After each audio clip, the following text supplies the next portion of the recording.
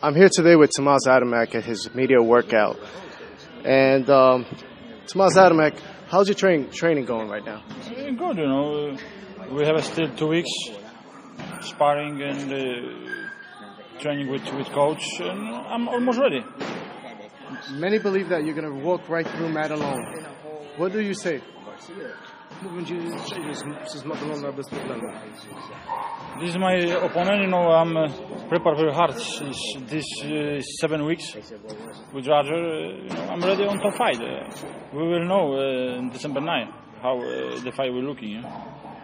Vinny Maddalone said that his um, that his blueprint to fight to, to fight you is to fight fast, apply a lot of pressure, and if you want to brawl with him, he's going to brawl even harder. Yeah, I'm ready.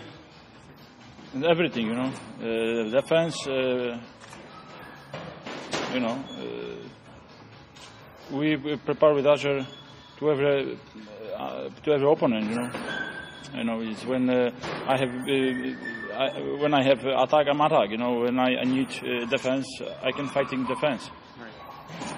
Maddalone said that he understands that he's entering a very hostile territory, but by the end of the fight, there are going to be more Polish fans for Vinny Maddalone than for Tomasz Adamek. You know, What do you uh, have to say about that? you know, uh, I'm uh, I can fighting everywhere. No, I'm fighting in uh, California before before you know um, uh, with Chris Arreola. Uh, I'm fighting in uh, Deutschland. You know, uh, for me it's no problem fighting. You know, I very happy. I fighting here. I have more fans than Maddalone, but ring is the ring. You know, if you wanna uh, win, you go to ring and fight. Right. There's rumors are, uh, rumors are circulating right now that Roy Jones Jr. have agreed to fight you sometime in March. What can you tell us about that? And have you signed that contract yet? You know, we, we negotiation with uh, Klitschko, David Haye, uh, and Roy Jones. You know, if we don't get t- title fights, uh, I will fight him with Roy Jones. This uh, big name, famous fights in the United States and the world. I'm ready. He's a smaller man. How is um? Would you be would you be fighting? Would you take in a would you take a fight with um, Roy Jones Jr.? You know, uh, I have uh, my team, is my boss uh, negotiation. You know, I'm okay fighting with everybody. You know, if you we Maddalone first. Maddalone, What's that? So we're just worried about the Maddalone fight. All the rest of the stuff will take Yeah. care of itself. Do you feel um, that you would want to be?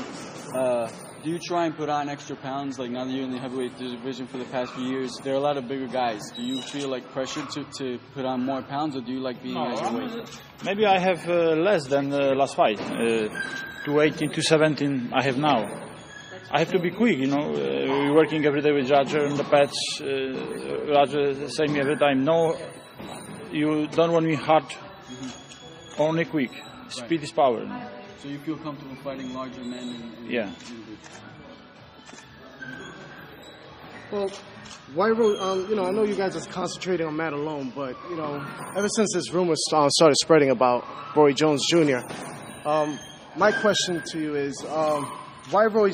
Why, why Roy Jones Jr.? I mean, Why not? he's coming off. He's coming off uh, a loss against Hopkins. He's a smaller man, so He has a style very very similar to Haye's, or so Haye has a similar style to him. any other questions? question. Um, Maddalone said that he's going to dictate the pace of this fight and that he's going to wear you down with his pressure. I just want to see your response to his statement. You know, uh, I'm fighting uh, my my style. You know, I'm uh, I'm fast. Uh, condition is very good. You know, we prepare. I told uh, seven weeks. We have uh, more too. I'm ready on uh, every fight. You know, uh, defense, uh, attacks. You know, this the ring is uh, arena where we can show uh, our class. yeah. Why do you feel a fight with David Haye hasn't been coming close to even being uh, a contract? You know, uh, Ziggy, uh, uh, Ziggy that? talked uh, him yesterday. You know, he, he talked with manager uh, Roy, manager uh, uh, Klitschko's, but the Klitschko's, and uh, we negotiation. If we don't get fight uh, early, we will fighting with another guy. We, but you know, next year I um, I want to get title fights, but I don't know wh- wh- which ones. you have a preference as to Cl- Klitschko first or David Haye? Do you have a preference? Doesn't matter, you know. Uh, I want a uh, big angry fight, you know. I'm ready. Now, what what kind, what would you want to use differently from what you used with Michael Grant? You know, uh, I'm learning with Roger every day. You know, more move, uh, legs, head. Uh, I have to be uh, difficult to hit me. You know, I have to be fast. You know, it's, very important uh, with with heavyweight fights because every punch is heavy. Yeah? Now I have my face is clean. You know, the sparring uh, is very good. You know, I'm ready. You know, I'm happy. My career uh, and my talent go up. Uh, this is a question for Roger. Roger, um, have you guys been studying any tapes of um, Maddalone or just studying the fighter himself? Sure, we, you know, when we took the fight, uh, you know, we knew Vinny'd be a tough opponent. He always is. I watched him fight Warmack. I watched him fight Holyfield. Uh, his game plan is not a surprise. You know, he always comes forward, applies a lot of pressure, throws a lot of punches. So you're going to have to be in good shape. Uh, it's, I think it's necessary for Thomas to be able to handle that type of fight. Uh, that's why we're fighting because we know he's going to come to fight. My, my every fight is uh, is win. You know, my every fight. I want to win and I win. But we, we have to wait in December 9. You know? If I'm uh, hit, I can uh, beat everybody. You know. Roger, another question for you. Uh, what's been what's been his biggest improvement from last training camp to this one now? What, what's the biggest improvement you've seen working with him in this training camp? I think he's faster this this camp. So he's, he's a little more relaxed when he's throwing his punches, so he's faster, and his uh, his foot movement's a little bit better, you know, than it was. He's getting a little better each camp. You know, after this fight, we'll see how he performs in this fight, and then we'll assess where he is. Um,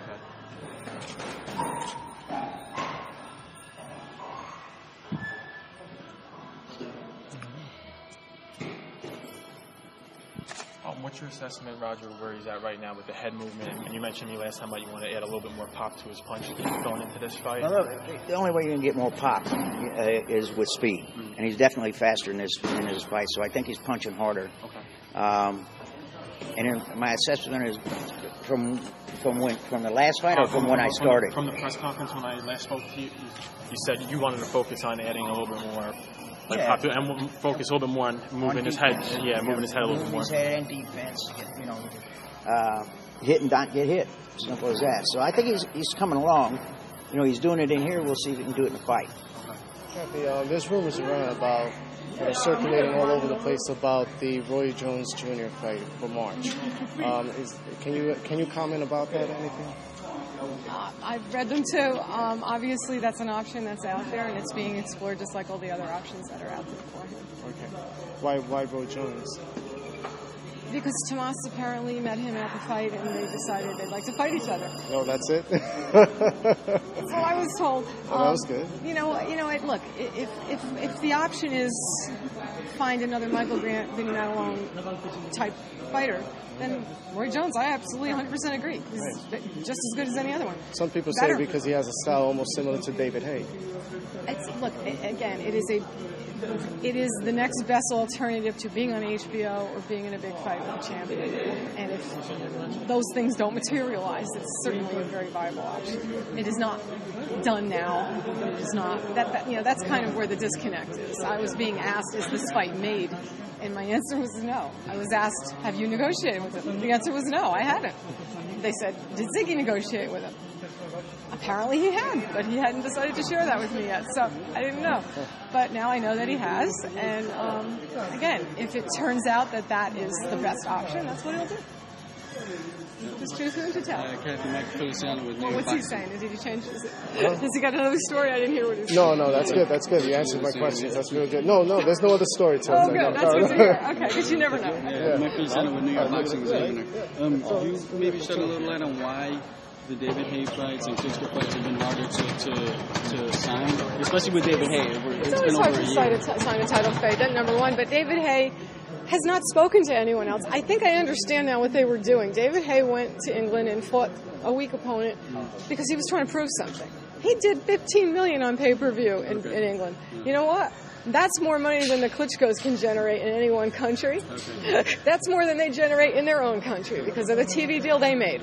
So, what he's saying is, if you want to fight me, you have to come here. And you know what? He makes a pretty compelling argument. So, we're ready to go to England anytime. Okay.